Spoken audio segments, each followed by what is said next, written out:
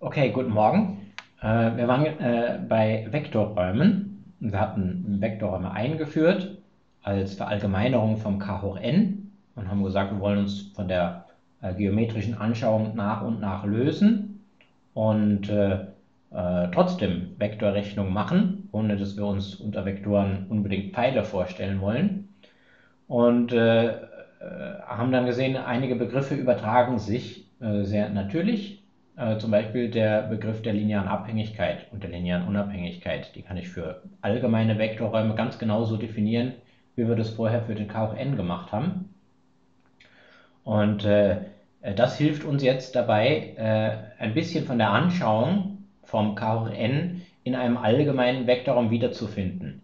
Äh, und zwar soll es jetzt darum gehen, äh, dass äh, sowas wie, ein, sowas wie ein Koordinatensystem für einen allgemeinen Vektorraum zu erklären. Was, was soll das sein? Ein Koordinatensystem. Können wir uns im, im R hoch n äh, leicht was darunter vorstellen. Das sind irgendwie die Koordinatenachsen.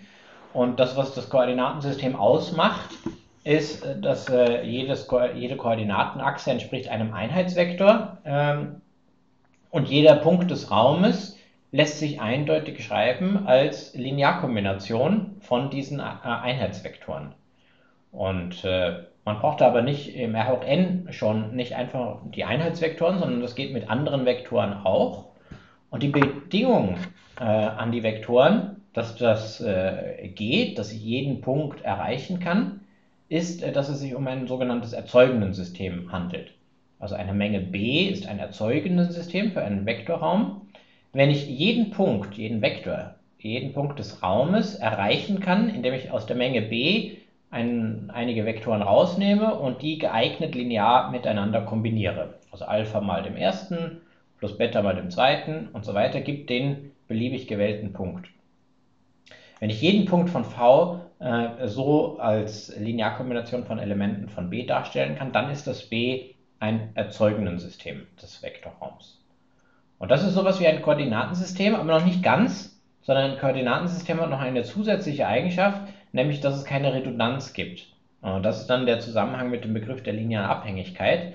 Wir wollen nicht, dass es einen Punkt gibt, der mehrere Darstellungen hat, äh, sondern wir wollen, dass die, äh, äh, ja, dass die Darstellung eindeutig ist, dass jeder Punkt eine Darstellung hat, aber nicht zwei Darstellungen, sondern ähm, ich will, äh, will, will, genau wissen, jede, jeder Punkt hat genau eine Darstellung als Linearkombination aus den äh, Koordinatenachsen, Vektoren und wenn das der Fall ist, dann äh, sprechen wir nicht von einem erzeugenden System, sondern präziser von einer Basis. Also eine Basis ist definiert, da hatten wir das letzte Mal definiert, als ein linear unabhängiges erzeugendes System. Also die beiden Dinge kommen zusammen, linear unabhängig und erzeugendes System. Und dann hatten wir sehr äh, lang diesen ähm, Satz bewiesen, äh, also etwas mühevoll, äh, der verschiedene charakteristische, charakteristische ähm, ja, äh, Charakterisierungen des Begriffs äh, der Basis liefert. Und zwar haben wir gesehen, das, was ich eben als geometrische Motivation äh, gebracht habe, das ist hier der vierte Punkt. Jedes Element des Vektorraums äh, lässt sich in eindeutiger Weise als Linearkombination von Elementen aus B schreiben. Und das ist gleichbedeutend damit, dass es eine Basis ist, das B, und das ist nach Definition, wie gesagt, äh, äh, ein linear unabhängiges Erzeugenden-System. Und der zweite und der dritte Punkt, äh, die drücken das äh, jetzt jeweils nur bezüglich eines erzeugenden Systems beziehungsweise nur bezüglich linearer Unabhängigkeit aus. Eine Basis äh, oder eine Menge B ist nämlich genau dann ein, eine Basis, wenn es ein, linear, äh, ein, ein erzeugendes System ist, das äh, kleinst möglich ist, in dem Sinn, dass wenn ich irgendwas wegtue, äh, dass der Rest dann kein erzeugendes System mehr ist. Und es ist gleichzeitig eine größtmögliche lineare unabhängige Menge, in dem Sinn, dass äh, wenn ich zu dieser linear unabhängigen Menge b noch irgendetwas hinzutue, was nicht schon drin ist, dann wird das Ergebnis etwas linear abhängiges sein. Das haben wir das letzte Mal äh, gezeigt, dass das alles äquivalent ist. Das sind alles äh, äh, Möglichkeiten, wie Sie beschreiben können, was äh, sich hinter dem Begriff der Basis äh, äh, verbirgt. Und da machen wir jetzt noch ein bisschen weiter ähm, der nächste Satz gibt jetzt auch einen interessanten Zusammenhang zwischen diesen beiden Begriffen der linearen Unabhängigkeit und, der, äh, und dem Begriff des erzeugenden Systems.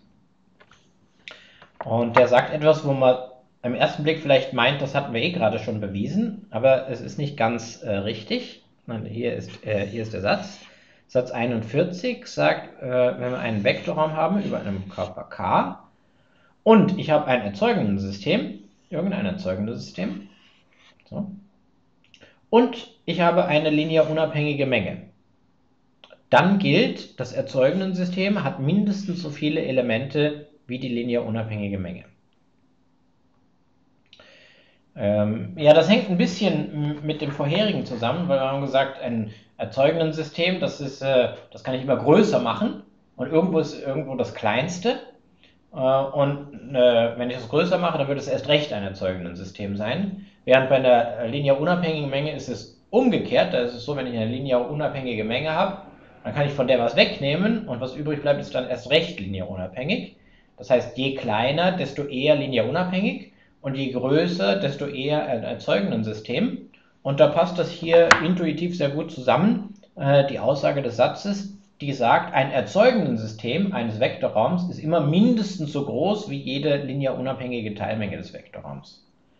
Ähm, es folgt aber nicht unmittelbar aus dem letzten Satz, denn äh, also wir müssen noch etwas arbeiten, weil hier ist keine Teilmengenbeziehung interessanterweise angenommen zwischen dem M1 und dem M2. Die müssen keine, die müssen nicht einmal irgendwie einen Schnitt haben oder das eine schon gar nicht in dem anderen enthalten sein. Äh, äh, und trotzdem kann ich zeigen, wenn das eine ein erzeugenden System ist und das andere ist linear unabhängig, dann muss das eine mindestens so viele Elemente haben wie das andere. Das wollen wir jetzt sehen, warum das so ist. Da, da muss einen Grund für geben. Äh, und der Grund ist wie üblich in einem Beweis kodiert. Und äh, schauen wir uns das an. Also wir nehmen, äh, also wir müssen zeigen, die, äh, da, die, äh, äh, das Erzeugnisensystem ist mindestens so groß wie ähm, die linear unabhängige Menge. Also zu zeigen ist, also schauen wir mal hin, damit wir nicht ständig hin und her blättern müssen. Wir wissen, äh, M1 ist ein Erzeugnisensystem, M2 ist eine linear unabhängige Menge. Um zu zeigen ist, M1 ist die Anzahl der Elemente in M1 ist mindestens so groß wie die Anzahl der Elemente in M2. Und äh, ja, wir machen einen Widerspruchsbeweis. Ähm, angenommen nicht.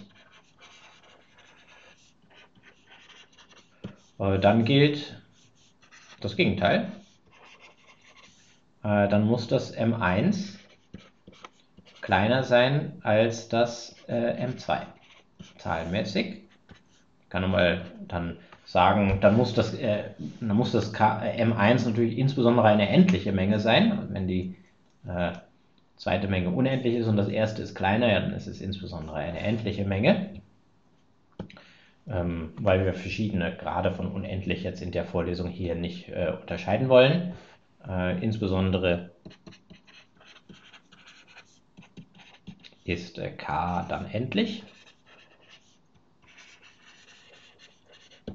Oh, und dann kann ich die Elemente von M1 einfach hinschreiben. Also etwa,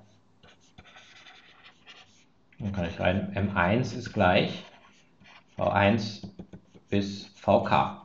Das ist also irgend so eine Menge.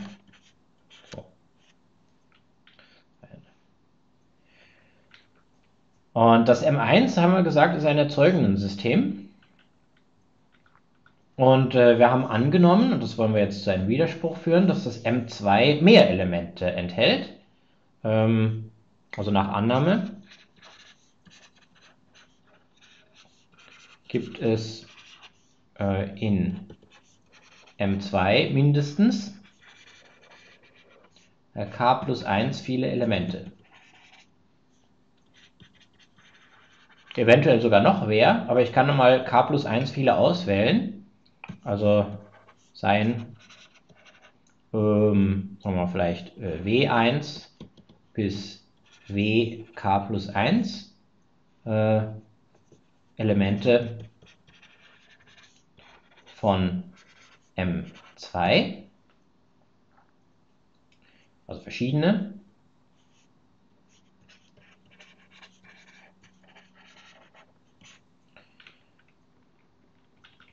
Und wenn das M2 linear unabhängig ist, dann sind natürlich auch diese äh, Elemente linear unabhängig. Das M2 äh, ist ja eventuell viel größer, aber wenn ich aus dem alles wegwerfe, außer denen hier, dann ist es eine Teilmenge und eine Teilmenge einer unabhängigen Menge ist immer unabhängig.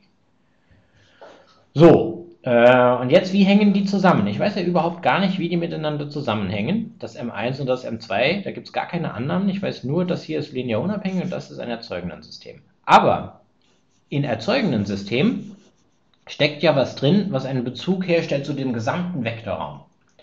Äh, das erzeugenden System zu sein für das M1 bedeutet, dass ich jedes Element des Vektorraums darstellen kann als eine Linearkombination von Elementen aus M1. Also insbesondere diese hier, das sind ja Elemente von M2 und was die M1 und M2 zumindest mal gemeinsam haben, ist, dass die beide Teilmenge von V sind, von dem Vektorraum, von dem hier die Rede ist. Also da ähm, ähm, M1 ein erzeugendes System von V ist, gibt es irgendwelche Konstanten, Alpha ij in K für gewisse i und gewisse j mit, ja, so, ich kann das W1 äh, darstellen als Alpha 1, 1 äh, V1 plus Alpha 1, 2 V2 plus plus plus plus Alpha 1 K V K. Und das W2 kann ich darstellen als Alpha 2, 1. Also jedes von denen kann ich darstellen als Linearkombination von diesen Vs, die die Elemente von M1 sind.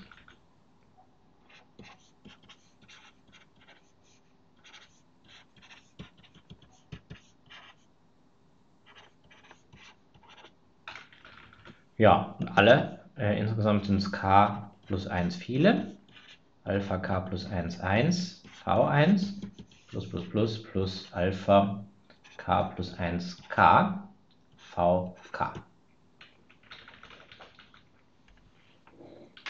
Könnte das als Matrix aufschreiben.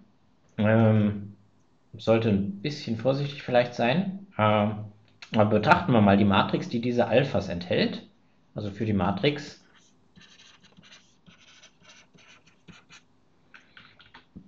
a gleich Alpha 1, 1, Alpha 1k, Alpha k plus 1, 1, Alpha k plus 1k. Die hat jetzt wie viele Zeilen, wie viele Spalten? Die hat k plus 1 äh, Zeilen, so viele wie es hier Ws gibt, und äh, äh k Spalten, so viele wie es Vs gibt. Also die, die lebt hier Und äh, für diese Matrix gilt,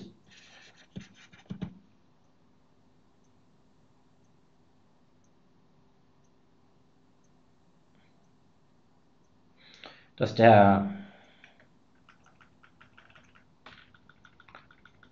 ja, dass der, der Rang von der Matrix, der, der, muss, der, der kann höchstens k sein. Ähm, weil der Rang ist beschränkt durch das Minimum von den beiden. Das Minimum ist k. Das heißt aber jetzt, ähm, ich weiß jetzt nicht, ob die einen Kern hat, weil die hat mehr Zeilen als Spalten. Ähm, ich weiß aber, sie muss einen Co-Kern haben. Also es muss gelten. Daher muss gelten.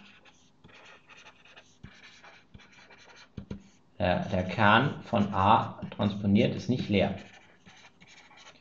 Weil A transponiert ist dann eine Matrix, die hat mehr äh, Spalten als Zeilen und übersetzt in ein Gleichungssystem heißt das, das ist ein Gleichungssystem mit mehr Variablen als Gleichungen. Und das heißt, da gibt es da gibt's auf jeden Fall einen Freiheitsgrad. Ähm, und damit ist der Kern da nicht einfach nur 0, sondern, ähm, äh, sondern äh, der Kern enthält tatsächlich etwas. Also der Co-Kern von A oder der Kern von A transponiert äh, muss irgendetwas enthalten. Äh, sei dann nehmen wir so ein Element her, sei C1 bis C äh, k plus 1, Element k hoch äh, k plus 1 ohne dem Nullvektor. so, dass äh, wenn ich das von rechts auf a transponiert oder von links auf a drauf multipliziere, c1 bis ck plus 1 mal a, dass das 0 ist. Ähm, so einen Vektor gibt es.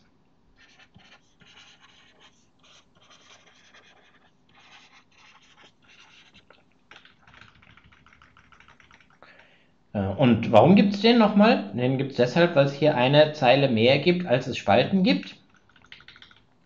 Deshalb in der transponierten gibt es dann eine Zeile weniger, als es Spalten gibt. Und deshalb, wenn Sie den Kern ausrechnen und sich die Normalform vorstellen, dann muss es irgendwo, am Ende gibt es eine Spalte mehr, irgendwo muss es eine Treppenstufe geben, die ein bisschen länger ist. Die mindestens 1 länger ist als, äh, als 1.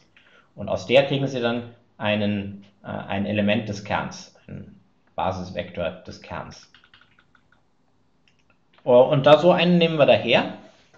Und was heißt das dann? Das bedeutet, naja, das bedeutet doch, wenn ich jetzt äh, nehme, dann gilt, ähm,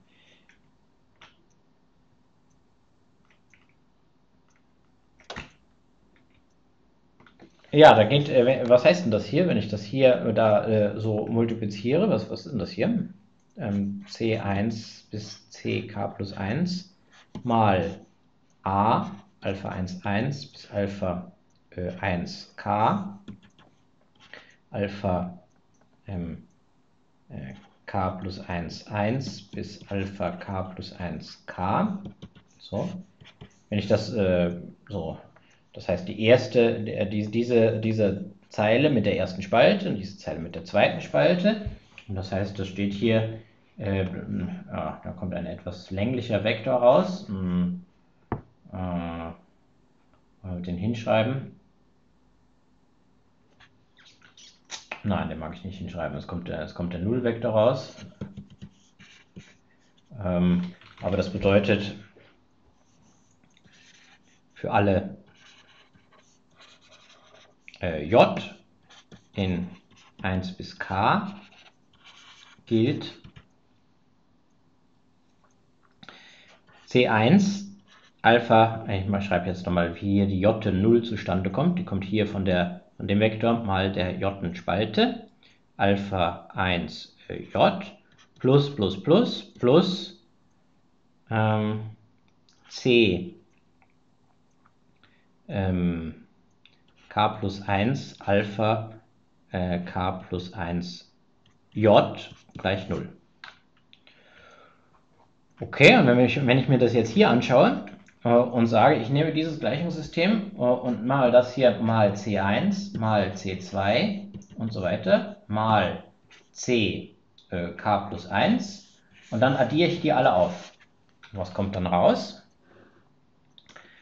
Daher. Dann kommt auf der linken Seite kommt raus C1 W1 plus plus plus plus CK plus 1 WK plus 1. Und auf der rechten Seite kommt raus naja, jetzt muss ich das hier für jedes V machen. Also hier kommt raus C1. Und dann, das sind, das sind dann genau die Nullen hier. Also da kommt raus äh, C1 Alpha 1 1 plus plus plus plus C K plus 1 Alpha K plus 1 1 mal V1 plus C1 Alpha 2 1 plus plus plus plus C K plus 1 Alpha K plus 1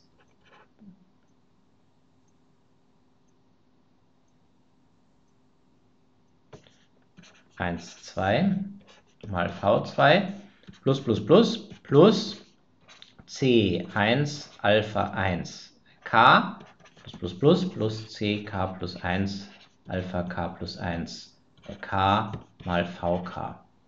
Und für die hier haben wir jetzt alle, äh, die C ist gerade so gewählt, dass die Klammern hier alle 0 sind. Und 0 mal V1 plus 0 mal V2, na, das ist natürlich 0. Das ist ein Widerspruch. Denn hier habe ich jetzt gezeigt, ich habe hier eine Linearkombination der Ws, die 0 ergibt. Äh, und die Cs sind nicht alle 0, weil der Vektor, der die Cs enthält, ist nicht der Nullvektor. Also es muss mindestens eins von den Cs nicht 0 sein. Äh, also ist diese Menge, die die Ws enthält, linear abhängig. Das ist Widerspruch. Widerspruch zu was?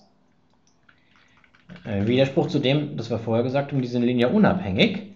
Äh, und zwar habe ich die ja gewählt, ausgewählt aus der Menge M2. Und die Menge M2 ist linear unabhängig. Das ist ein Widerspruch.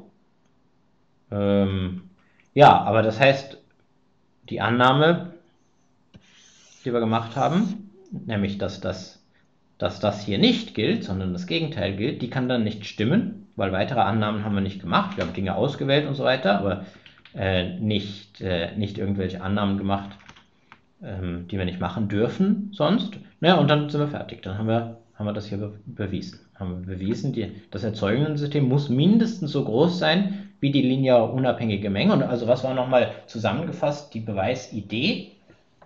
Die Beweisidee ist, ich nehme die linear unabhängige Menge und wähle aus ihr, wenn sie größer wäre als das erzeugende System, wähle ich mehr Elemente aus, als das erzeugende System groß ist. Die schreibe ich alle als Linearkombinationen von äh, den Elementen des erzeugenden Systems. Und dann passiert etwas sehr, äh, sehr Bemerkenswertes.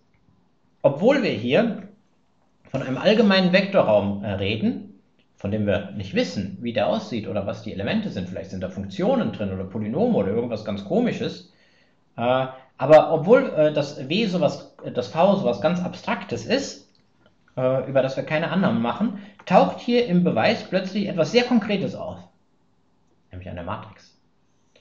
So die, die Matrix, die, die, die lebt hier jetzt nicht in irgendeinem komischen abstrakten Raum, sondern die, das ist eine, eine ganz explizite Matrix ne, mit k äh, Spalten und k plus 1 Zeilen. Und über die wissen wir ja was, weil da haben wir lange genug darüber geredet. Da haben wir dann Begriffe wie Rang und Linearunabhängigkeit von Zeilen und wir wissen, wann hat das Ding einen Kern und so. Und aus dem haben wir dann gesagt, ja, für die Matrix, die Matrix setzt, äh, stellt eine Beziehung her zwischen den Elementen von M1 und den Elementen von äh, M2. Äh, und weil ich weiß, dass die Matrix einen nicht leeren Co-Kern hat aufgrund des Formats, kann ich mir daraus herleiten, äh, eine lineare Abhängigkeit von den Elementen von äh, M2, die aber gar nicht existieren dürfte. Oh.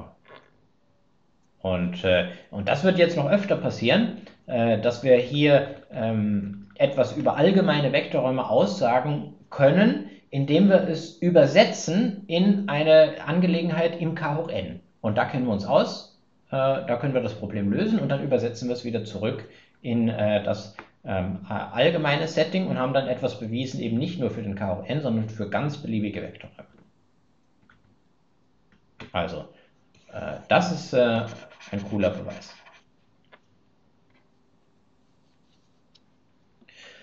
Oh, und das hat äh, nicht nur hat das Ding einen coolen Beweis, der Satz, sondern äh, der Satz hat auch eine coole äh, Folgerung.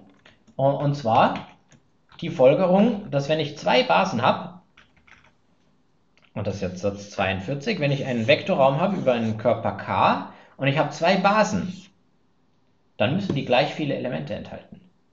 Je zwei Basen enthalten gleich viele Elemente. Äh, ein Vektorraum hat im, Allgemeinen mehrere Basen. Also äh, sagen wir beim R, R2 fällt uns vielleicht zuerst die Basis 1, 0, 0, 1 an, ein. Also das ist eine, eine Basis. Ja, ebenso, das sind die Koordinaten, äh, die Vektoren, in die die äh, Koordinatenachsen gehen. Aber das ist nicht die einzige Basis. Ich könnte auch hier 1, 1 und äh, 1 minus 1 nehmen.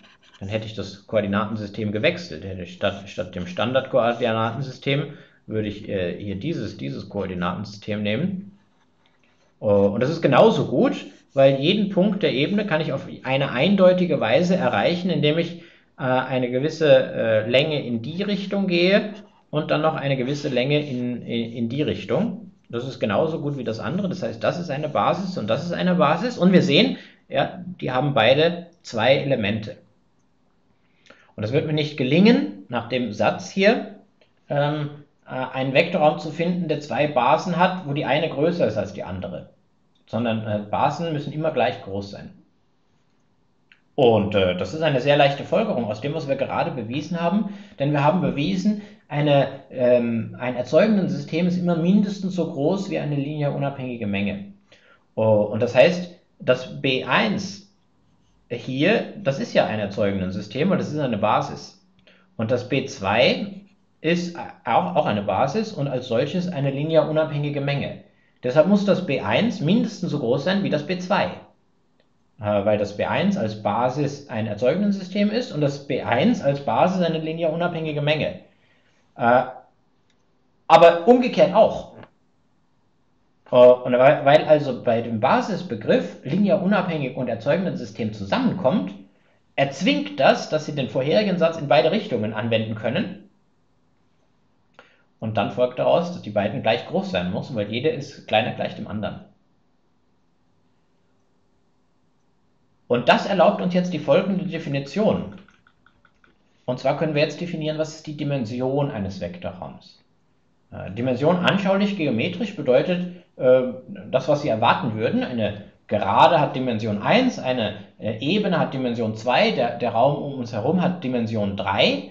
Aber was ist im Allgemeinen der, die Dimension eines Raums? Das können wir jetzt ganz präzise mathematisch sauber definieren. Und zwar sagen wir, ich nehme einen Vektorraum und will definieren, was soll die, äh, die Dimension von dem sein. Vektorraum über einem äh, Körper K.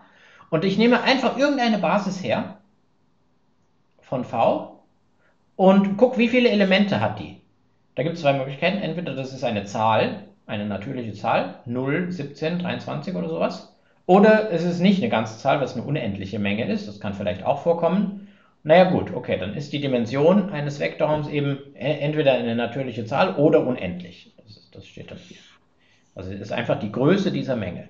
Und das definiere ich als äh, die Dimension des Vektorraums V. Das ist, passt hier ganz gut mit der Intuition zusammen. Die, die, die Ebene hier ist zweidimensional, weil ich habe hier eine äh, Basis, die hat zwei Elemente. Und beachten Sie, da kommt jetzt wieder das mit der Repräsentantenunabhängigkeit und mit der Wohldefiniertheit ins Spiel.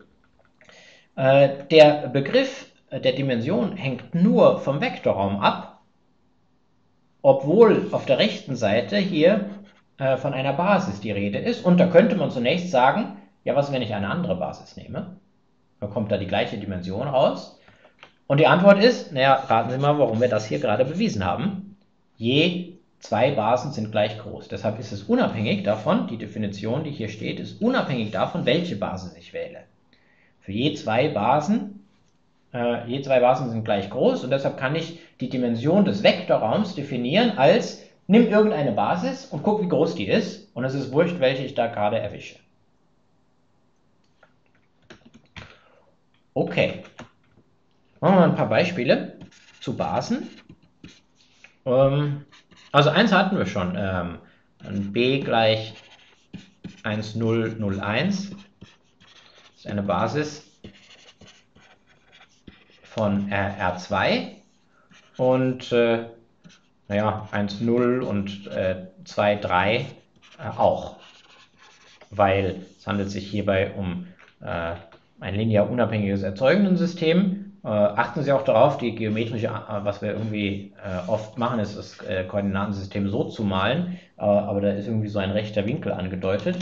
Ähm, das muss aber nicht sein. Ich kann auch ein Koordinatensystem ohne einen rechten Winkel nehmen. Ich könnte auch so ein Koordinatensystem nehmen. Das muss natürlich immer durch Null gehen. Aber mit den Vektoren kann ich auch jeden Punkt der Ebene erreichen. Den hier zum Beispiel, indem ich sage, ich gehe mal ähm, ja, so weit nach da oben und dann so viel zurück. Also da kann ich jeden Punkt erreichen. Das ist also auch ein, äh, eine, äh, eine Basis. Ähm, was ist, wenn ich so einen Unterraum habe? Ähm, sagen wir 1, 2, 3, 4, 5, 6, 7, 8, 9. Das ist ja ein Unterraum von R3. Aber äh, ist das auch eine Basis von dem Unterraum, also äh, ist 1, 2, 3, 4, 5, 6, 7, 8, 9 eine Basis von R3? Antwort, nein. Woher weiß ich das? Ja, das Ding ist nicht linear unabhängig. Äh, denn das äh, wissen wir, wie wir das ausrechnen. Äh, wir stellen die äh, Vektoren äh, in die Spalten einer Matrix.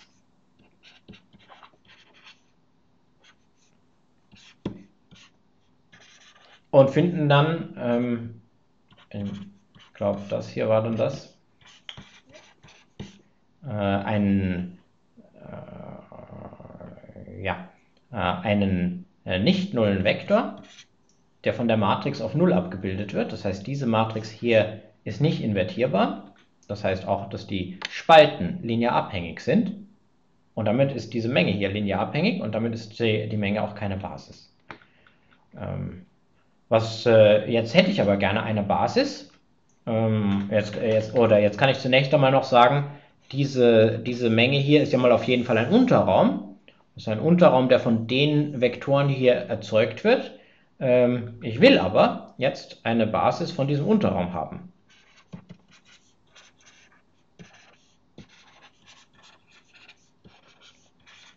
Und wie kann ich das äh, äh, mir verschaffen? Naja, das, was hier steht, ist äh, immer noch ein erzeugenden System. Denn äh, das ist die Bedeutung dieser spitzen Klammern. Äh, die spitzen Klammern sagen, äh, das Ding, was hier durch die spitzen Klammern hm, beschrieben wird, dieses U, soll sein der Unterraum, der in R hoch 3 von diesen Vektoren erzeugt wird. So äh, wäre jetzt die moderne Sprechweise. Ganz präzise heißt das äh, wieder, so wie wir das schon oft hatten, die Menge aller Linearkombinationen. Also U ist die Menge aller Linearkombinationen, Alpha mal dem ersten, plus Beta mal dem zweiten, plus Gamma mal dem dritten. Und äh, damit ist, äh, ist eben diese Menge hier ein erzeugendes System für den Unterraum U. Aber eben keine Basis. Und ich hätte jetzt gerne eine Basis.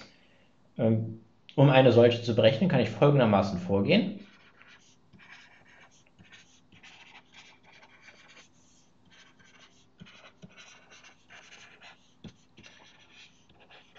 Äh, ich nehme die Vektoren hier und schreibe sie in die Zeilen einer Matrix.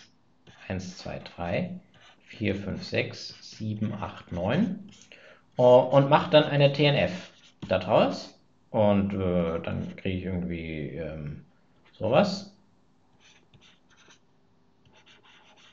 0, 0, 0. Und eine TNF zu machen heißt ja immer, ich mache eine äh, Linearkombination von den Zeilen. Das heißt, die äh, Zeilen von dieser Matrix hier spannen den gleichen Unterraum auf wie die Zeilen von der Matrix. So sprechen wir das jetzt, so sagen wir das jetzt. Ähm, denn ich kann aus jeder Linearkombination von diesen Zeilen eine Linearkombination von diesen Zeilen machen.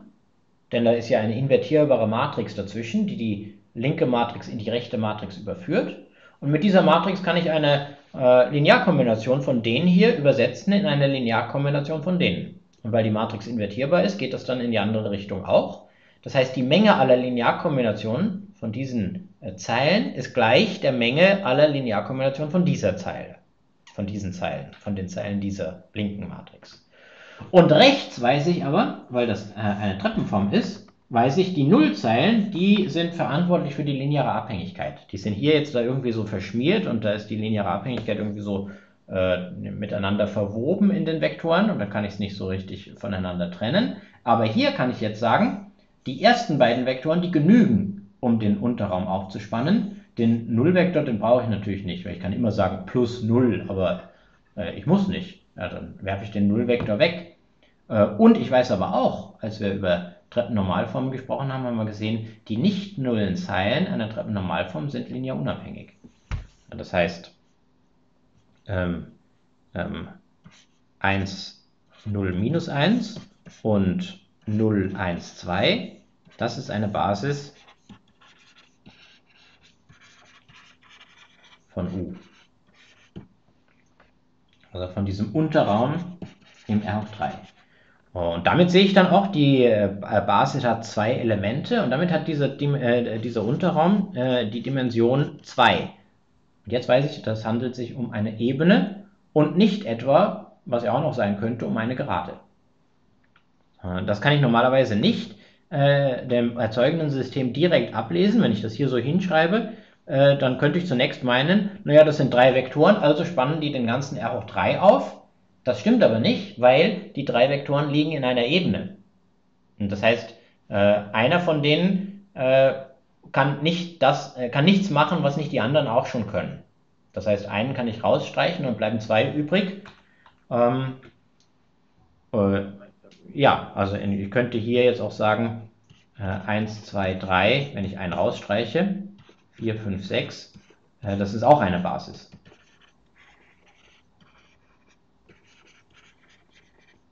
Von U. Ähm, aber alle drei zusammen, die bilden zwar noch ein erzeugendes System, aber keine Basis mehr. Okay.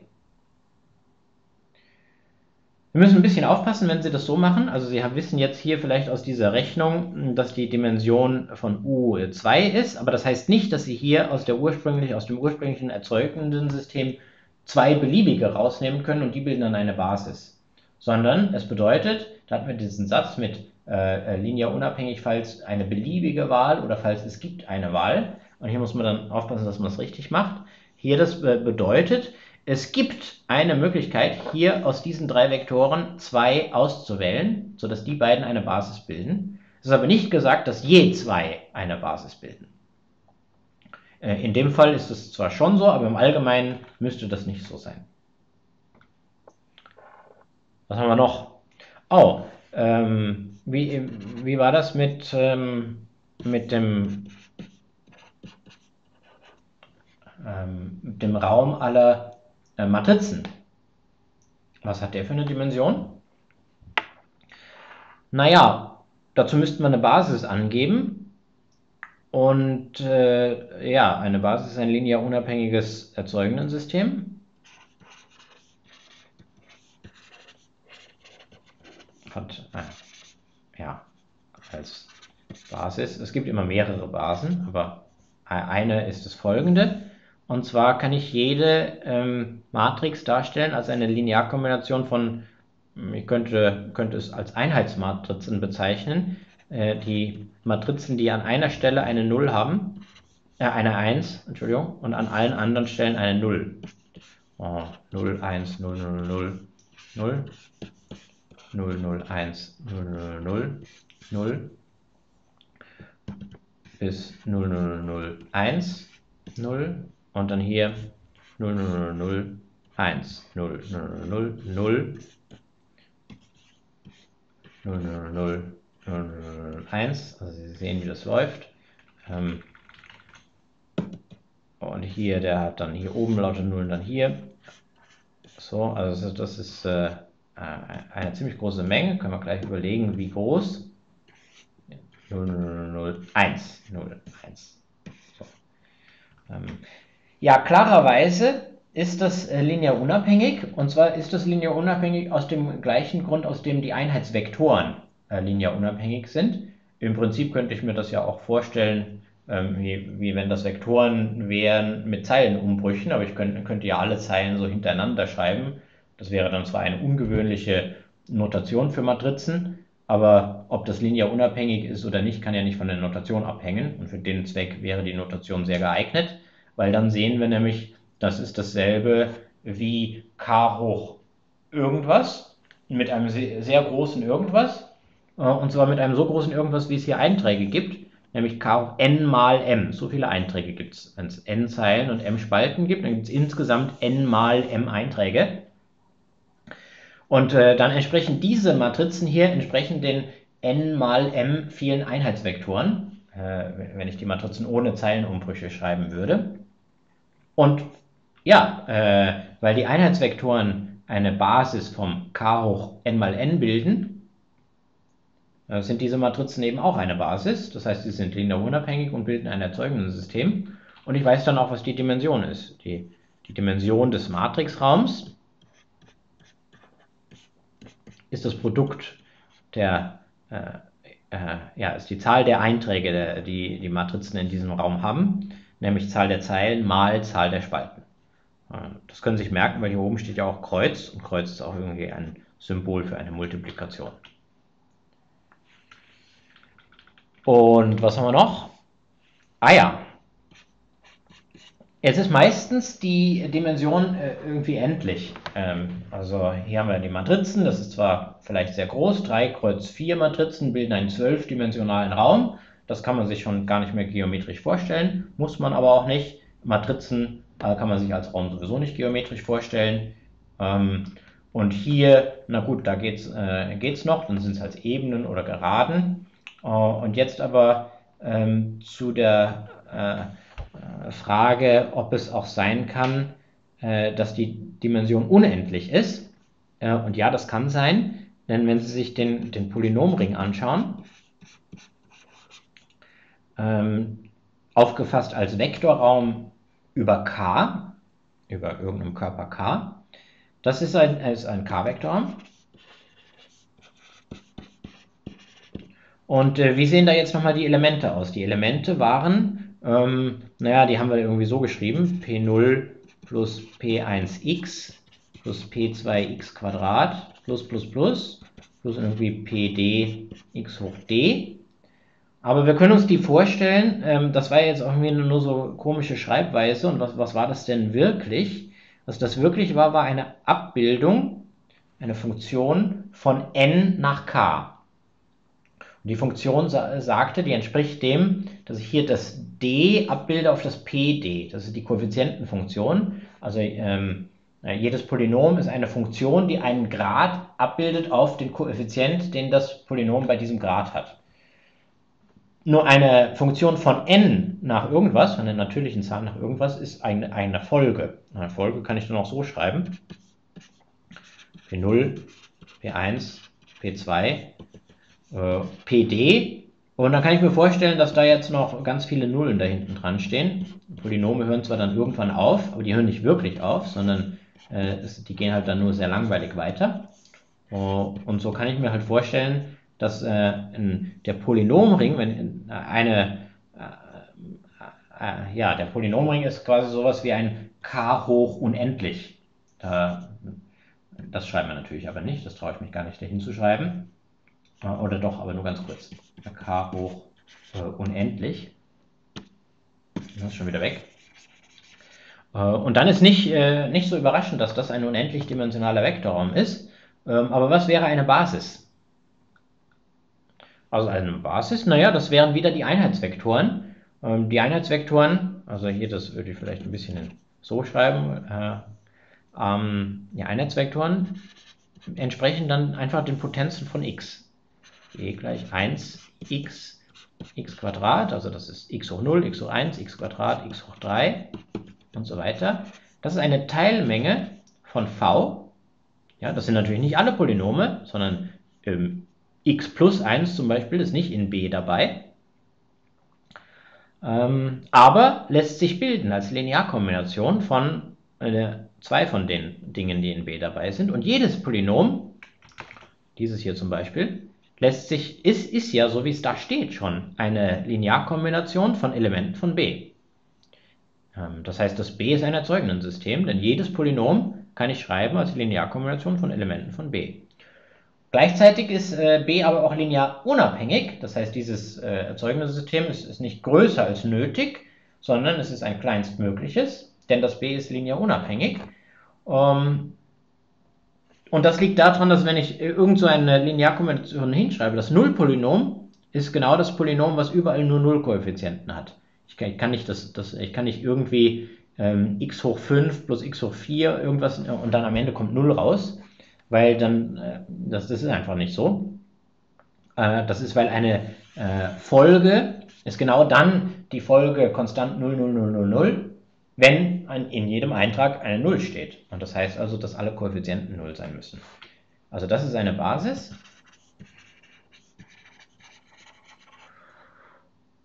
Und offensichtlich ist das eine unendlich große Menge. Also haben wir hier äh, es mit zu tun mit einem äh, Vektorraum, dessen Dimension unendlich ist.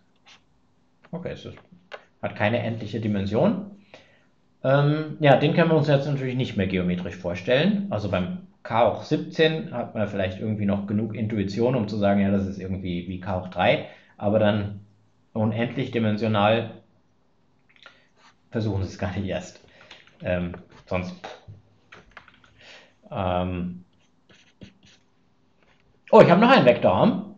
Äh, äh, und zwar, das ist ja jetzt schon ein sehr großer Vektorraum, der Polynomring, wenn der äh, Dimensionen unendlich hat. Aber ich habe einen noch größeren Vektorraum, äh, und zwar den Potenzreihenring. Was war jetzt das nochmal? Also das ist mal ja ein K-Vektorraum.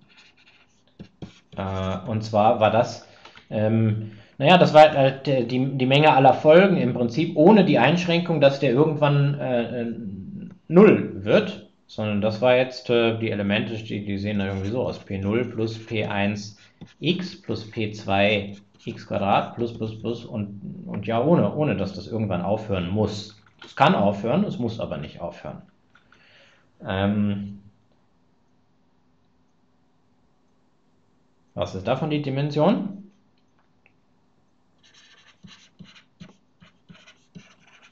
Da braucht man eine Basis.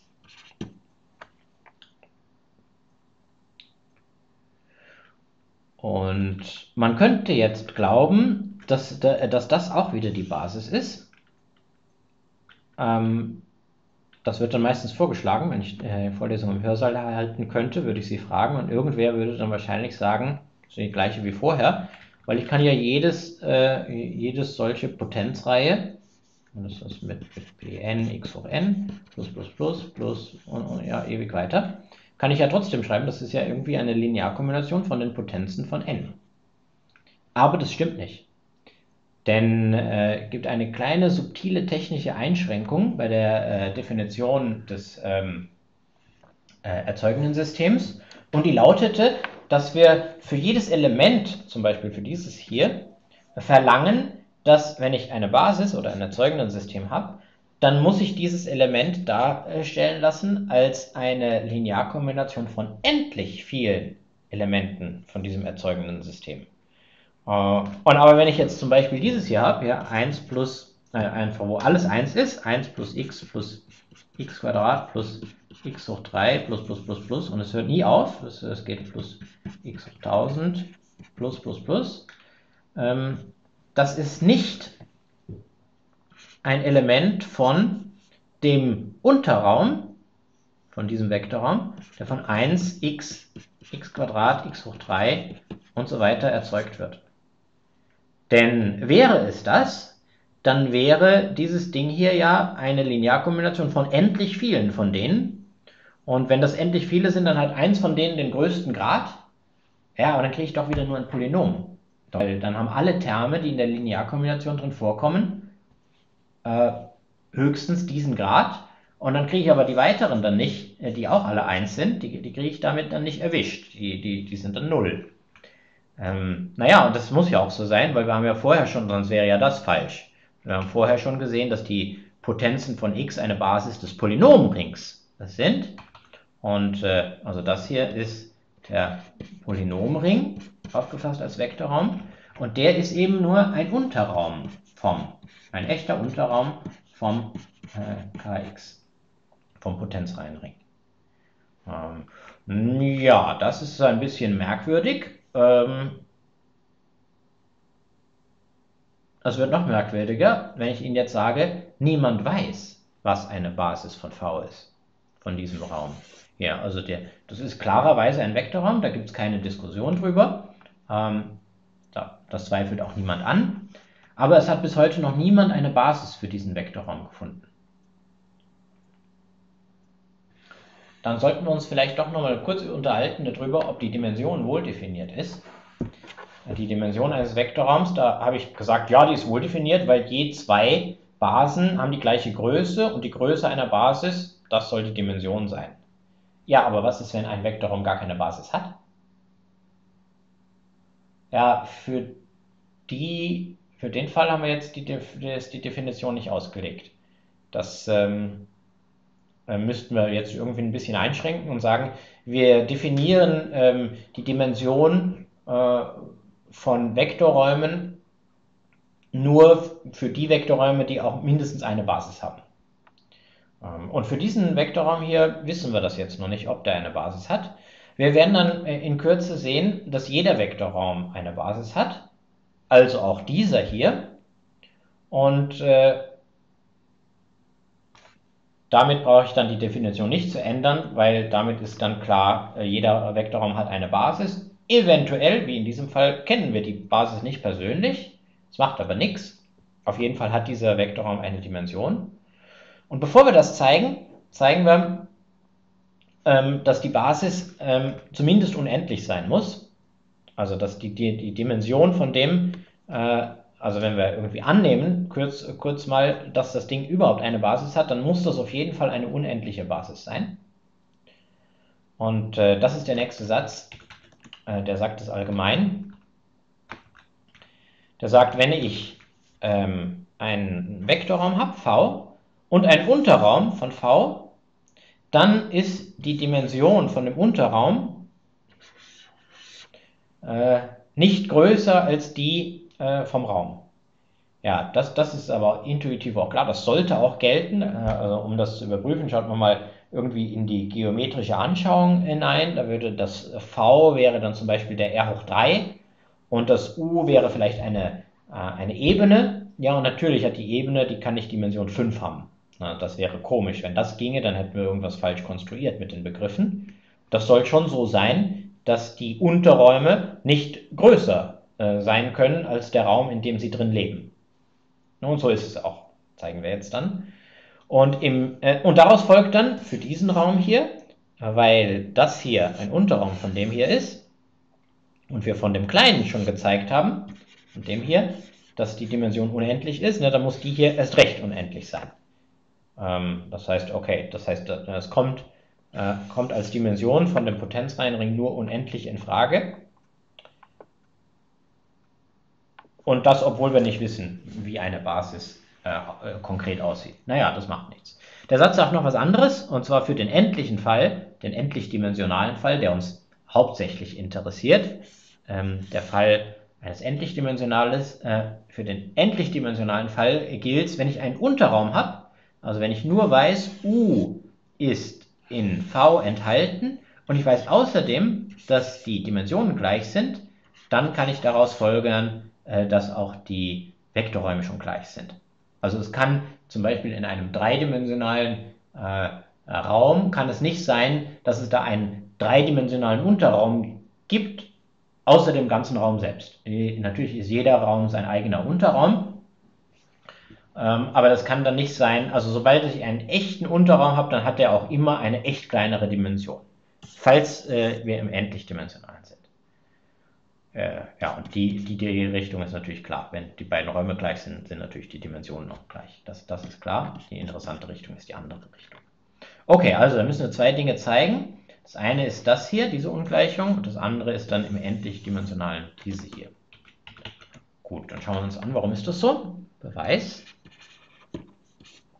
Also erstens, zu zeigen ist, also wie wir wissen, äh, nicht viel, aber das wird reichen. Ähm, das U Teilmenge ist von äh, V und zu zeigen ist, äh, die Dimension von U kleiner gleich der Dimension von V.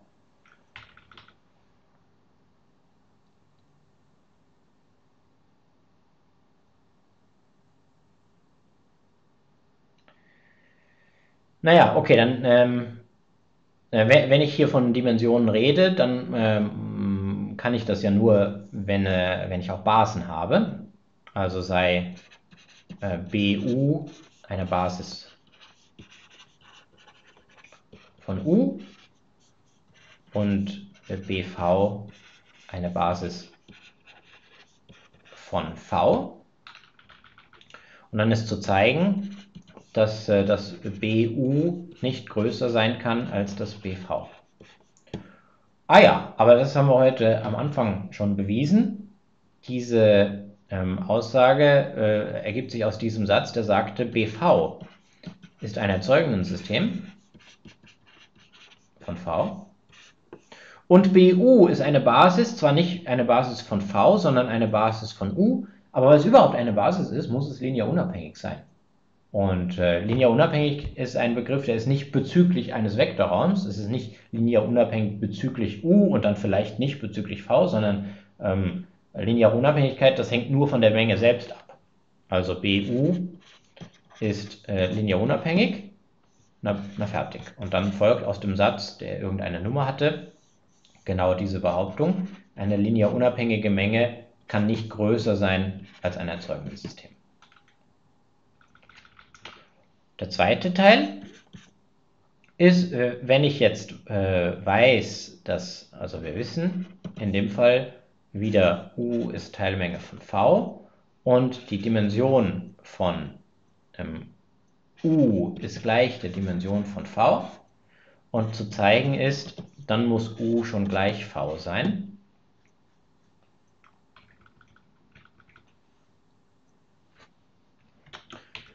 Also das wäre dann äh, hier. Ah, wir wissen dann auch, die Dimension von v ist äh, endlich. Das sollten wir dann noch, genau, deshalb habe ich mich gerade erschreckt. Also das ist kleiner als unendlich. Das brauchen wir auch noch. Also die, das hier wissen wir. Und hier haben wir gesagt, es ist von der Äquivalenz nur eine äh, äh Richtung interessant, nämlich die von hier nach da. Und das hier ist sowieso eine Generalvoraussetzung, die auch noch gilt.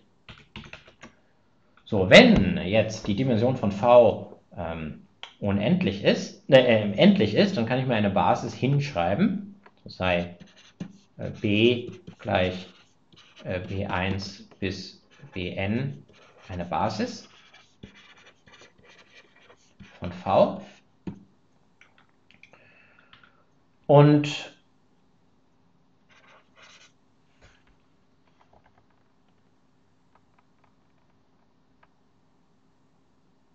ja, sagen wir BV äh, und sagen wir B, ähm, äh, BU, naja, das muss auch eine Basis haben. Nennen wir die dann vielleicht V1 und das hat genauso viele Elemente bis v, v, Vn.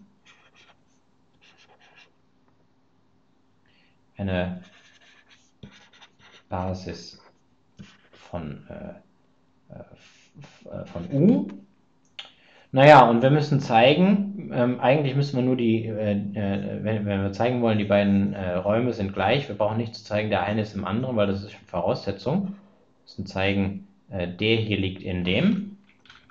So sei äh, also ähm, v in v beliebig.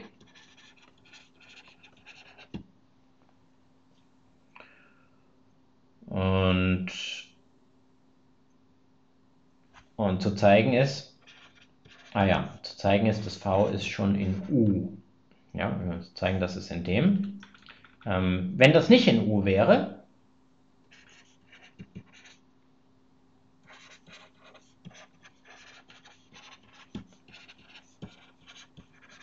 äh, so wäre, so wäre, also, dann würde das bedeuten, dass ich das V nicht darstellen kann als Linearkombination von den Basiselementen von U wäre v nicht in dem Erzeugnis von v1 bis vn. Und äh, dann äh, heißt es aber, wenn ich das dazugebe, dann würde das äh, größer. Also dann, äh, äh, dann ist äh, die Menge v1 bis vn vereinigt mit v, linear unabhängig. Äh, denn wäre die Linie abhängig, dann äh, könnte ich ja das V schreiben als Linearkombination von denen. Äh, aha, und dann, dann habe ich aber ein Problem. Ist dann ist nämlich die Dimension von äh, dem Raum, der von den Vs hier aufgespannt wird und diesem V hier. Äh, das muss dann sein n plus 1. Aber das geht nicht, weil das hier ist eine, äh, ein Unterraum von V. Die Dimension von äh, v ist n. Und wir haben vorher gerade gezeigt, ein n-dimensionaler Raum kann nicht einen n plus 1 dimensionalen Unterraum haben. Und äh, drum ist es dann so, was haben wir jetzt dann gezeigt, äh, das v kann nicht Nicht-Element von U sein. Ja, also muss es Element von U sein. Ja, das, das folgt. Ähm, v ist Element von U. Fertig. So, jetzt haben wir also gezeigt, ähm, etwas über äh, Unterräume, dass äh, wenn ein Raum in einem anderen enthalten ist, dann hat er höchstens die gleiche Dimension. Und wenn er echt enthalten ist und es sich um endlichdimensionale handelt, äh, Räume, dann hat er sogar eine echt kleinere Dimension. Okay, das passt alles mit der geometrischen Intuition mehr oder weniger zusammen. Aber es ist gut zu wissen, dass es auch äh, für die Vektorräume stimmt, ähm, für die wir keine geometrische Intuition haben, ähm, weil das bestätigt uns äh, äh, in der Annahme, dass es sich beim Vektorraumbegriff um etwas Fundamentales handelt und wir den tatsächlich zu Recht so konstruiert haben, dass er möglichst viel von der Intuition sich dahin da, überträgt. Und jetzt möchte ich Ihnen als nächstes äh, den versprochenen Beweis nachliefern dafür, dass jeder Vektorraum eine Basis hat. Und das ist jetzt das nächste Ziel.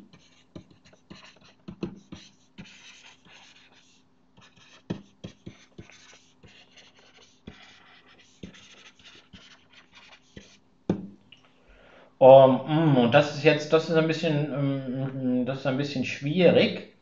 Und zwar ähm, müssen wir da jetzt ein bisschen ausholen. Und das ist jetzt auch was, das kommt dann wieder nur für diesen einen Beweis und danach nie wieder. Also erschrecken Sie nicht, falls Ihnen das komisch vorkommt. Äh, Sie sollten eher erschrecken, falls es Ihnen nicht komisch vorkommt.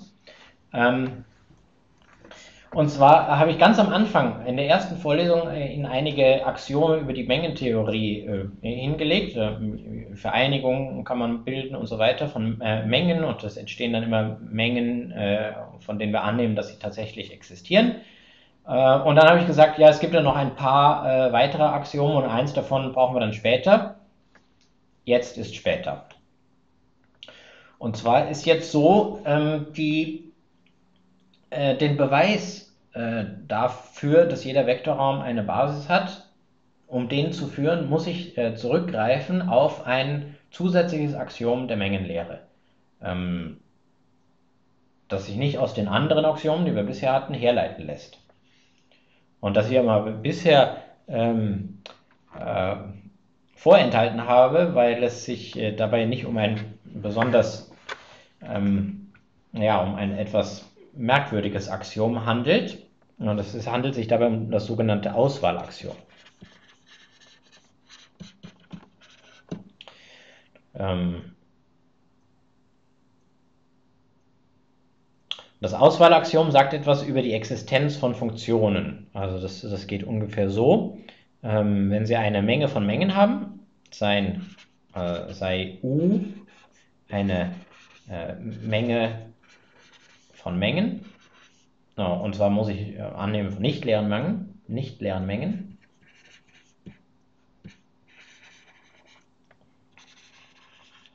Also das heißt, jedes Element von U ist eine Menge, die können wir dann vielleicht so schreiben, U, aber, aber nicht die leere Menge. Und äh, dann gibt es eine Funktion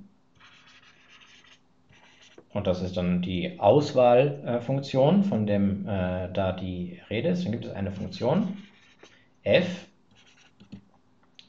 die von der Vereinigung, nee, die von u geht in die Vereinigung über alle diese u's, aus denen das u besteht.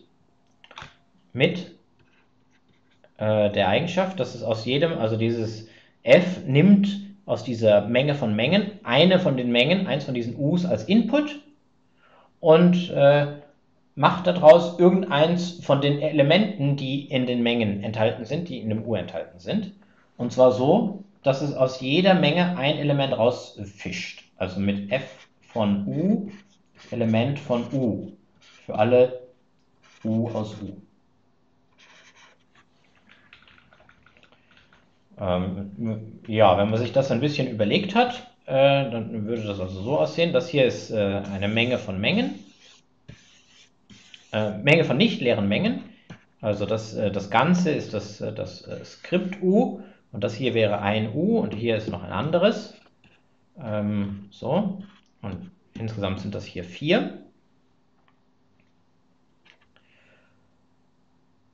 Und äh, diese Funktion f, die sagt, oder das Auswahlaxiom sagt, ich kann mir eine Funktion nehmen, die aus jedem u eins, eins markiert. Das zum Beispiel sagt, dieses u hier wird, aus dem wird das ausgewählt, aus dem wird das ausgewählt, aus dem wird das ausgewählt und aus dem wird das ausgewählt. Ja, warum sollte es so eine Funktion nicht geben? Das ist eigentlich ziemlich naheliegend und so soll es ja auch sein bei Axiomen, dass die so naheliegend sind, dass man sagt, ja, okay, das ist offensichtlich wahr. Das Blöde beim Auswahlaxiom ist, das hat jetzt einige merkwürdige Konsequenzen. Ähm, man kann mit dem äh, Auswahlaxiom, dass man kann das Auswahlaxiom in verschiedene Weisen schreiben und manche Weisen, die hier zum Beispiel, da würde man sofort sagen, ja, das ist klarerweise richtig. Und dann gibt es aber andere Sachen, die, die wirken irgendwie falsch.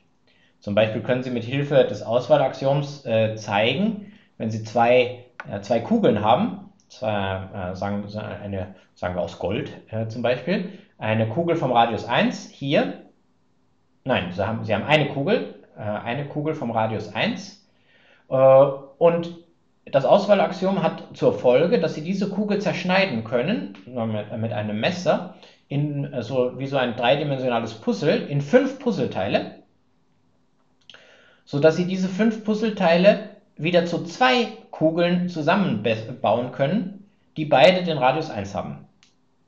Also Sie können wunderbare Goldvermehrung machen auf diese Art und das ist offensichtlich falsch. Ähm, könnte man denken, vielleicht stimmt es auch, aber es ist zumindest merkwürdig. Zumindest müsste man da ein bisschen mh, hm, das diskutieren. Uh, und das hat man diskutiert in der äh, Geschichte äh, der Mathematik in den letzten 100 Jahren oder so, soll man das Auswahlaxiom hinzufügen oder eher nicht? Und wer legt das eigentlich fest? Wer legt eigentlich fest, welche Axiome gelten sollen? Gibt es da irgendwie eine Kommission bei der UNO, die das festlegt oder wie, wie geht das? Ähm, naja, es ist doch, es ist ein bisschen so wie bei einem Vektorraum. Wir haben ja gerade äh, gesprochen über erzeugenden Systeme. Ähm, und ein erzeugenden System bei einem Vektor ist ja, dass Sie haben irgendwelche äh, Vektoren, b1 bis äh, bn. So, und dann äh, sagen Sie, Sie betrachten den Vektorraum, der von denen erzeugt wird. Und da haben wir gesagt, das ist die Menge aller Dinge, die Sie bilden können, indem Sie mit, ausgehend von denen lineare, äh, ähm, ab, äh, lineare ähm, Linearkombinationen machen. Und dann kriegen Sie genau diese, diese Vektoren, n, Alpha 1 bis Alpha n in k, wenn wir davon ausgehen, dass das mal in einem großen, umfassenden Universum äh, drin stattfindet. Und das ist dann, dieses U ist dann der von B1 bis Bn erzeugte Unterraum von V.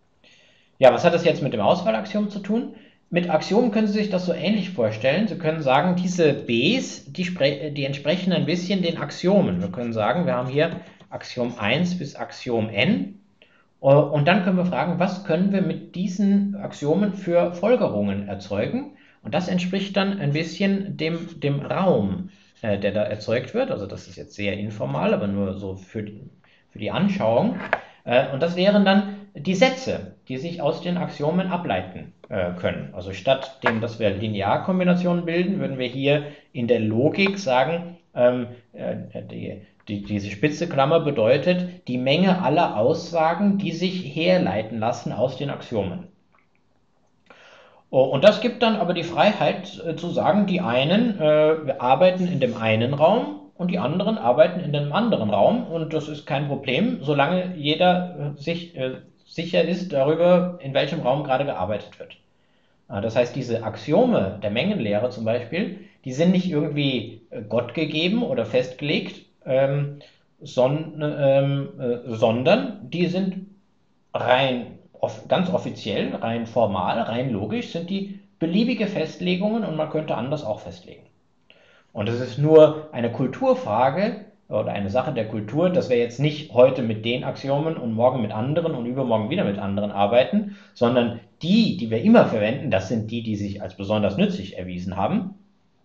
Und deshalb verwenden wir die immer und stellen die nicht unnötig in Frage. Die, das, sind schon, das sind schon coole Axiome, die sollten, sollte man nicht einfach über Bord werfen.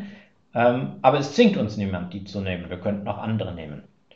Und darum ist das bei dem Auswahlaxiom auch so, äh, dass man halt äh, diskutiert hat, wollen wir das dabei haben oder wollen wir das nicht dabei haben. Oh, und in älteren Texten sehen Sie dann äh, manchmal in, in, äh, in, in, Artikeln, in mathematischen Artikeln oder in Lehrbüchern äh, einen Zusatz, äh, sagt er, diesen Satz, der gilt nur in der Theorie, die das Auswahlaxiom auch enthält. Oh, oder ein anderer sagt dann, oh nein, es gilt anders auch, weil ich habe einen neuen Beweis gefunden, der das Auswahlaxiom nicht braucht. Ähm, also das ist sehr, sehr spannend. Inzwischen äh, äh, ist das Auswahlaxiom aber allgemein akzeptiert. Also das komische Ding mit den Kugeln, ja, man gewöhnt sich daran, dass das halt auch stimmt und eine Folgerung ist. Ähm, und wenn man den Beweis anschaut, äh, dann äh, äh kommt man eh drauf, ja, okay, wenn man, wenn man annimmt, dass man so kompliziert schneiden kann, dann äh, ist man auch gewillt, das zu glauben, dass es solche Puzzleteile gibt. Und insofern wird jetzt heutzutage das Auswahlaxiom nicht mehr so in Frage gestellt. Und wir äh, nehmen es auch deshalb einfach an, dass es gilt. Ähm, und ähm, ich muss es aber annehmen. Ohne das Auswahlaxiom kann ich nicht zeigen, äh, dass jeder Vektorraum eine Basis hat, weil äh, man kann umgekehrt auch zeigen, wenn ich annehme, jeder Vektorraum hat eine Basis, dann folgt daraus das Auswahlaxiom.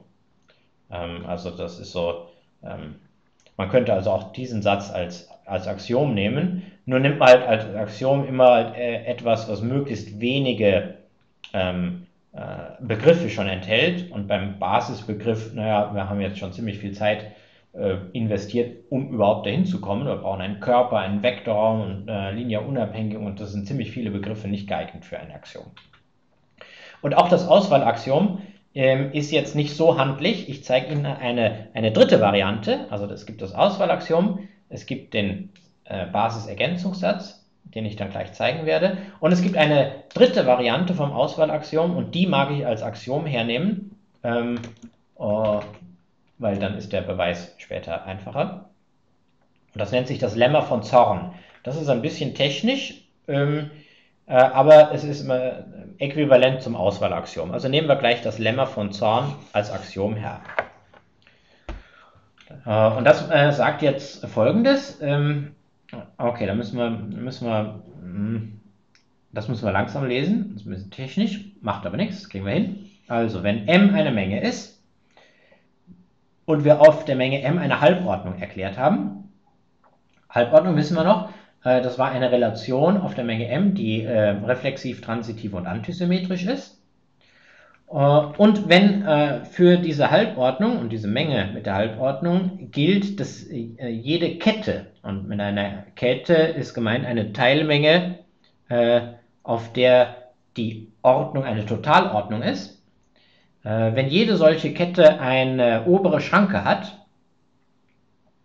also wenn für, für jedes t, das total geordnet ist, jede Teilmenge t von der potenziell nicht total geordneten Menge, sondern nur halb geordneten Menge, äh, eine obere Schranke hat, die in M ist, also eine, ein Element in M existiert, sodass alle Kettenelemente kleiner sind, kleiner oder gleich, dann, äh, das sagt dann das Axiom hier, dann gibt es auch ein Element, ein, ein quasi ein globales Maximum äh, von äh, innerhalb von M, und zwar also ein Element von klein m von groß m, sodass äh, kein anderes Element größer ist. Also so dass, äh, wenn das m äh, kleiner gleich x ist, äh, das schon gleich sein muss. Okay, hier ist eine schematische Darstellung. m äh, ist die, äh, die Menge der schwarzen Punkte und die Halbordnung ist, ist, durch die Pfeile angegeben, also was, je höher, desto größer. Hier unten, das ist ein kleines Element, dieses hier ist kleiner gleich dem und so weiter. Und hier habe ich jetzt eine, eine Kette angegeben. Wenn ich hier jetzt das t äh, sage, ich, das t besteht aus diesen drei Elementen äh, und schränke das äh, ein, die Ordnung darauf, dann habe ich hier eine Totalordnung, weil hier sind je zwei Elemente miteinander vergleichbar. Äh, Im M allgemein nicht, weil die beiden hier, das, das hier und das hier, da kann ich nicht sagen, dieses ist kleiner als das oder umgekehrt. Deshalb ist das kleiner gleich auf dem M keine äh, Totalordnung. Aber wenn ich mich hier zurückziehe auf diese äh, Elemente, die drei Elemente hier, äh, da ist schon eine äh, Totalordnung, weil hier sind je zwei miteinander vergleichbar. Von den beiden ist der der kleinere, von den beiden ist der der kleinere und von den beiden wegen Transitivität ist der der kleinere. Und äh, die Voraussetzung äh, des Lemmers, die hier steht, ist erfüllt, weil für dieses t gibt es da eine obere Schranke. Also eine, eine Element in M, sodass alle Elemente aus t darunter liegen. Das ist hier, ja, die liegen alle darunter. Das S könnte auch in dem T liegen, hier liegt es jetzt außerhalb, aber das, das passt schon. Ähm, und das ist jetzt nicht, es muss für alle, für alle Ts gelten, für jede solche Teilmenge. Das heißt, das müsste ich hier jetzt ausprobieren. Hier ist noch so eine äh, und äh, da ist eine äh, und dann ist hier noch so eine und, und so weiter. Und für, alle, für, jede einzelne von denen finde ich ein S und das, äh, die Behauptung von dem Lemma ist, wenn das der Fall ist, dann muss es auch ein m geben, das irgendwo ganz oben ist. Und hier ist so ein m, das nichts mehr über sich drüber hat. Und das ist ziemlich heftig. Ja? Das ist, äh, da muss man, da muss man länger, muss man länger äh, mit äh, rumspielen. Okay, hier ist noch ein äh, Beispiel. Eine, ähm, eine Anwendung dieses äh, äh, Lemmers von Zorn. Und zwar, wenn ich als m nehme das geschlossene Intervall äh, von minus 1 bis 1, also so, äh, oder von 0 bis 1. Und dann ist so, wenn ich jetzt irgendeine äh, eine Teilmenge nehme, also das, das Ding äh, hat ja eine, eine, eine Ordnung auf sich, aber wenn ich irgendeine eine Teilmenge nehme und sage, das ist t, dann ist, weil das die, die übliche Ordnung auf R ja sowieso schon eine Totalordnung ist, dann ist jedes T eine, eine solche Kette. Ähm, und es hat jedes T auch eine obere Schranke. Ich kann einfach das Supremum nehmen. Und in R gibt es immer das Supremum, das wäre also hier zum Beispiel das hier. Jede Schranke hat also eine obere, äh, ja, jede Kette hat eine obere Schranke in äh, in M. Und dann sagt das Lemma von Zorn, dann muss es auch ein Maximum geben. Ja, und natürlich, das gibt es auch, das ist die 1. Das stimmt. Also in dem Fall, das sagt das Axiom natürlich nicht, was das Maximum ist, sondern es sagt nur, es muss 1 geben. Das ist, äh, das ist hier also ein bisschen zu einfach vielleicht. Hier ist wieder etwas, das ist ein bisschen, ähm, äh, ein bisschen lustiger ein bisschen mengentheoretischer auch. Und zwar nehmen wir irgendeine beliebige Menge als Grundmenge äh, und nehmen als das m die Potenzmenge davon. Das heißt, m ist die Menge aller Teilmengen von a. Und wir nehmen hier äh, die äh, Teilmengenbeziehung als Halbordnung. Das ist dann tatsächlich eine Halbordnung, wo nicht alles mit allem vergleichbar ist. Und es ist trotzdem so, wenn ich irgendeine Teilmenge habe, mit der Eigenschaft, dass innerhalb, also das wäre dann auch wieder eine Menge von Teilmengen von a, aber nicht irgendeine ähm, äh, Menge von Teilmengen, sondern so, dass für je zwei Elemente das eine im anderen enthalten ist. Ja? Und dann gibt es eine, äh, dann gibt es äh, eine Menge äh, in der Potenzmenge, so dass, äh, ja, dann gibt es so eine obere Schranke, eine, äh, gibt's eine Menge sodass äh, alle, äh, alle Elemente der Kette da drin sind. Und zwar kann ich einfach alle Elemente der Kette vereinigen. Ja, und das wird dann natürlich so sein, dass dann jedes U aus T, also ich mache hier die Vereinigung über alle, tu, äh, alle U aus T, und natürlich ist dann jedes U aus T, ist dann da, ist dann da äh, drin enthalten, weil so war das S ja gemacht. Und natürlich ist das auch eine Teilmenge von äh, a und damit ein Element von der Potenzmenge von a. Und das ist ja m. Damit sind also die Voraussetzungen des Lemmers von Zorn erfüllt. Und dann kann ich jetzt sagen, dann äh, gilt also auch die Behauptung des Lemmers, wenn ich das Auswahlaxiom glaube. Äh, und das äh, sagt, es gibt also eine Menge in der Potenzmenge, die so, die irgendwie die größte ist, in dem Sinn, dass es dann nicht noch eine größere Teilmenge gibt. Naja, und das ist aber auch wieder in dem Fall einfach zu sehen, welche das ist. Das ist die Menge a selbst. Also a ist eine Teilmenge von sich selbst, aber es gibt keine größere, keine noch größere Teilmenge. Also in dem Fall äh, ist die Aussage des äh, Axioms wieder äh, glaubhaft ähm, und äh, auch gar nicht so schwer einzusehen, äh, wenn man sich mal durch die vielen Begriffe, die darin vorkommen, durchgewühlt hat. Und äh, der Basissatz, der ist so ähnlich wie dieses Beispiel. Schauen wir uns an, was der sagt. Der Basisergänzungssatz sagt, ähm, also das ist, es ist ja so, ähm, wenn wir uns vorher nochmal anschauen, wie war das mit der, mit äh, der, der, die Menge, wenn, wenn ich einen Vektorraum habe, v, äh, dann ist äh, v immer ein erzeugenden System von sich selbst. Und ich frage mich, gibt es noch, gibt's noch kleinere erzeugenden Systeme? Ja, zum Beispiel dieses. Äh, und ich werfe immer irgendwas weg. Und ist das dann immer noch ein erzeugenden System? Ähm, und wir haben dann irgendwann gesagt, ja, okay, ich kann aus dem erzeugenden System irgendwann vielleicht nichts mehr wegwerfen, aber da habe ich ein kleinstmögliches erzeugenden System. Ähm, ja, 1, 2, 3, 4, so. Und umgekehrt haben wir gesagt, die, die leere Menge ist immer linear unabhängig, aber zu einer linear unabhängigen Menge kann ich normalerweise nichts dazu tun, ähm, aber vielleicht dann doch. Ähm, sagen wir hier, nennen wir das hier vielleicht äh, B. Jetzt kann ich vielleicht noch gerade noch was dazu tun. Und vielleicht kann ich dann immer noch was dazu tun. Es bleibt immer noch linear unabhängig. Bleibt linear unabhängig. B3. Und bleibt linear unabhängig. Und hier habe ich dann jetzt vielleicht eine Menge erreicht, sodass äh, äh, ich da jetzt nichts mehr dazu tun kann. Also wir haben gesagt, eine Basis habe ich dann erreicht, wenn ich eine größtmögliche linear unabhängige Menge habe oder ein kleinstmögliches Erzeugenden-System. Und die Frage ist jetzt, treffen die sich? Äh, kann es sein, dass ich das eine äh, äh, ähm, dass ich das eine immer größer mache und das andere immer kleiner, aber ich, ich, ich renne hier gegen eine Wand und hier auch gegen eine Wand und da ist Wasser dazwischen. Das wäre doof. Der Satz sagt, das passiert nicht, sondern es gibt immer eine Basis. Und zwar sagt er das so, dass wenn Sie von irgendeiner ähm, linear unabhängigen Menge a ausgehen, zum Beispiel von der leeren Menge, muss aber nicht sein, ist ein bisschen allgemeiner, also wenn Sie irgendeinen Vektorraum haben und eine linear unabhängige Menge, dann gibt es eine Basis, die diese linear unabhängige Menge enthält. Das also deshalb sagt man der Basisergänzungssatz. Der sagt, ich kann jede linear unabhängige Menge von Vektoren zu einer Basis ergänzen.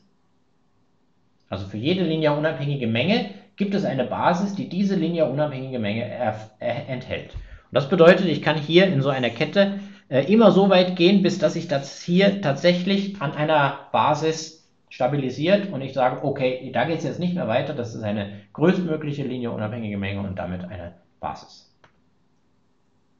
So, dann schauen wir uns das an, warum das so ist. Beweis.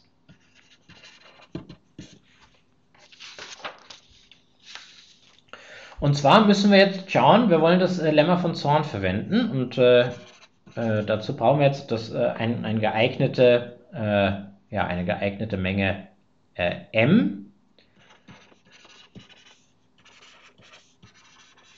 Und zwar folgende Menge m, ist eine sehr große Menge, schreibe ich sie groß. Die Menge aller ähm, Teilmengen, ich mag die Variablen so bezeichnen wie im, im Skript, also Menge aller u, für die gilt, A ist in U enthalten und U ist in V und äh, U ist äh, linear unabhängig.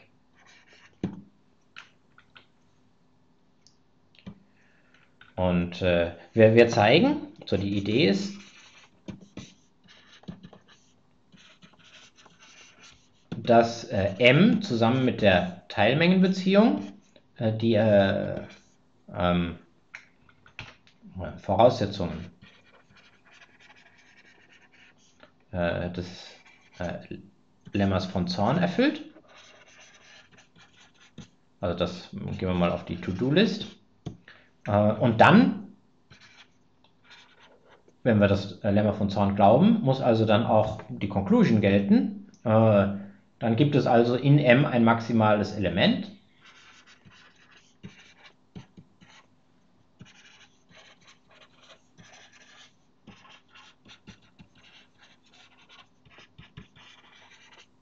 Nennen wir das äh, B. Also B ist ein Element von M. Und hier, naja, das, das, was ist denn das hier? Das hier ist eine, ähm, ähm, ist eine Teilmenge von der Potenzmenge von V. Also V, eine Vektorraum stellen wir uns meistens als etwas sehr Großes vor. Die Potenzmenge, boah, die ist dann natürlich noch viel größer. Und das M ist eine Teilmenge davon. Ja, ist eine Menge von, äh, ja, ist eine Menge von äh, Mengen von Vektoren. Eine Menge von Teilmengen von V. So, und äh, dieses maximale Element, von dem zeigen wir dann, dass es eine Basis ist. Oh, das können wir jetzt gleich machen, das ist relativ einfach dann noch. Dieses Element, ein solches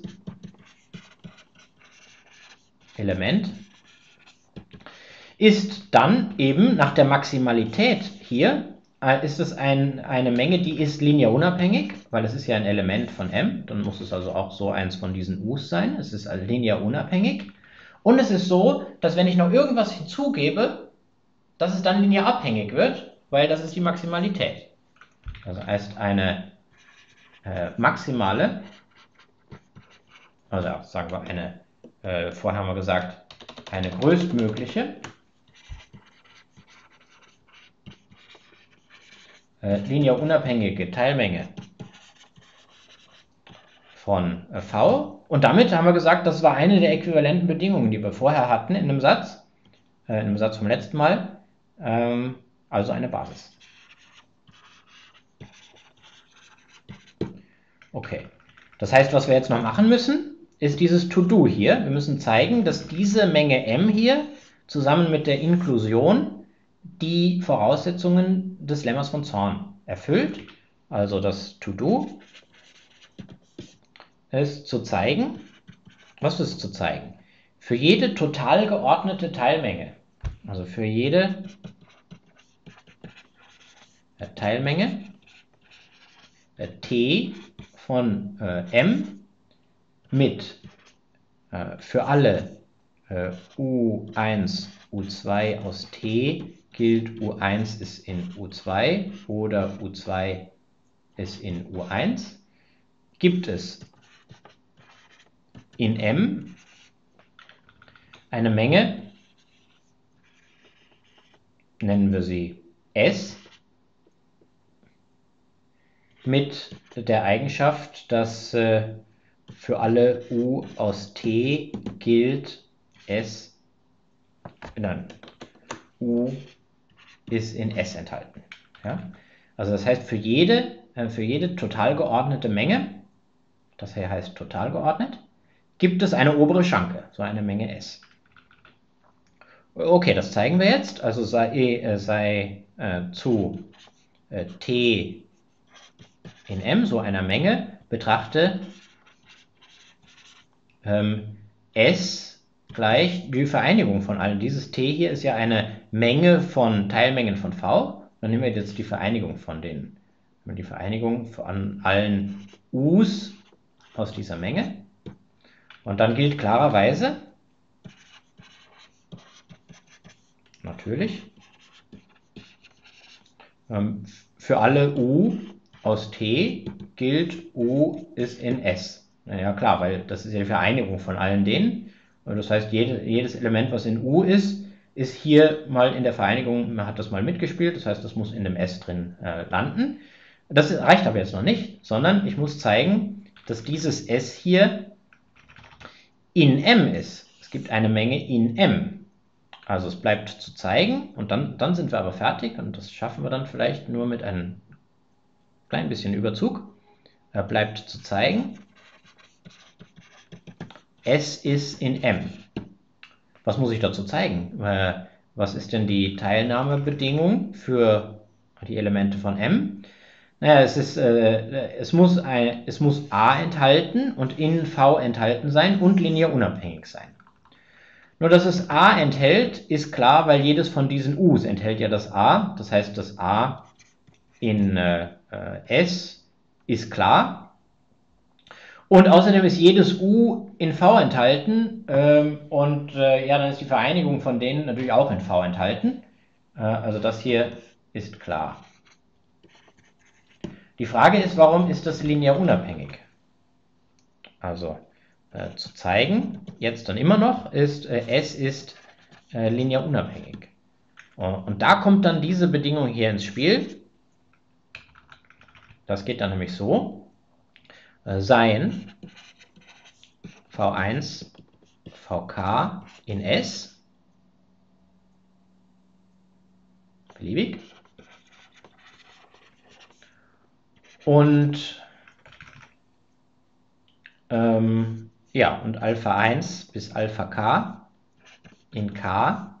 So dass das jetzt wieder ein linearer Unabhängigkeitsbeweis Alpha 1 V1 plus plus plus plus Alpha K VK gleich 0 und dann ist zu zeigen, die Alphas sind alle 0. Alpha 1 bis äh, Alpha K ist gleich 0. Alle 0. So, und jetzt das, der springende Punkt ist, das sind endlich viele. Also jedes ähm, VI liegt in einem UI, das in T liegt. Äh, also äh, V1 liegt in irgendeinem U1 und V2 liegt in einem U2 äh, und das VK liegt in einem UK und es ist außerdem so, dass T ist total geordnet für je zwei. Ähm, IJ gilt UI ist entweder in dem UJ oder UJ ist in dem UI. Das heißt, diese Mengen, die liegen, die können sich nicht komisch überlappen, sondern äh, die, die kann ich anordnen, so dass jedes das nächste enthält. Und insbesondere muss es dann eins geben, was alle anderen enthält. Also daher gibt es ein Maximum. Die kann ich irgendwie sortieren, die Menge. Äh, gibt es ein äh, i in 1 bis k mit der Eigenschaft, dass äh, äh, jedes U, äh, jedes von diesen U's in dem UI liegt. Ja, weil äh, da, durch, dadurch, dass ich eine Totalordnung habe, kann ich die sortieren, sodass jedes im anderen enthalten ist. Und weil es mir endlich viele ist, es muss dann das letzte von denen, wenn ich die sortiert habe, äh, alle anderen enthalten. Oh, das heißt aber dann, dieses UI muss alle diese Vektoren enthalten.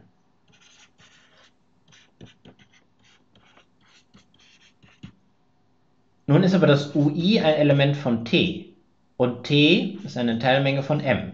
Das heißt, das UI erfüllt die Teilnahmebedingungen von M, zu denen gehört, dass es linear unabhängig ist.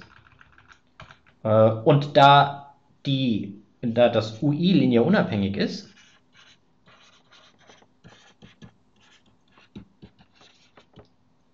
ja, können, müssen diese Vs, die da drin leben, auch linear unabhängig sein. Äh, weil ob die Vs jetzt Element von der Menge oder ein Element von einer anderen Menge ist, ist egal. Die Vs sind die Vs. Entweder sind die abhängig oder sind nicht abhängig. Sie sind also eben nicht abhängig, weil sie in dem UI leben. Ja, dann sind sie hier auch nicht abhängig. Und dann müssen die Alphas 0 sein. Ähm,